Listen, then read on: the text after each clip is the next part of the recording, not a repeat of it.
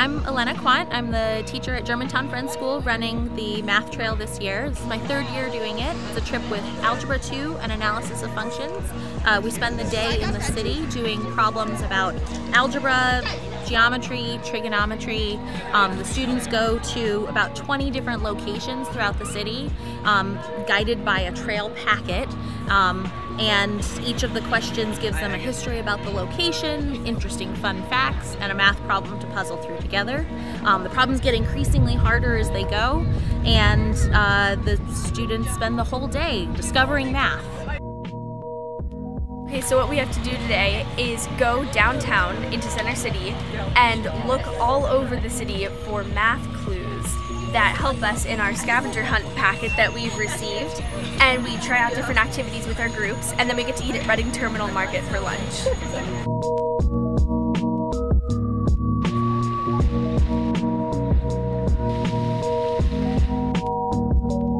So we're trying to find how many times the little circles or the little spheres can fit into the big one, and by that we're finding the the, uh, the volume of the big one and the small one, and then you can determine how many times the small one can fit the big one. So right now we're on this like sort of like chess piece, sort of like art design, and we are measuring sort of the circumference and finding the radius of them, and it's a pretty intense sort of problem I'd, I'd say because we're trying to figure out the area of a smaller circle but comparing it to a larger circle and right now I think that you have to change the radius but I don't know if that's correct so I'm gonna go find that out.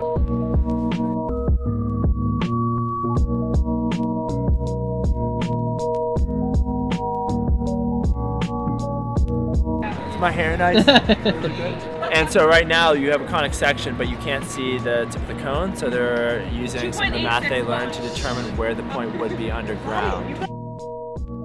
I really liked uh, seeing different parts of the city and exploring it and seeing how math was integrated throughout. We embraced the city through mathematical and educational processes. My favorite part of today was figuring out how much money I would spend if I bought a dozen donuts every day for a year. And I would spend $2,337.40. And in total, that would be 655,200 calories.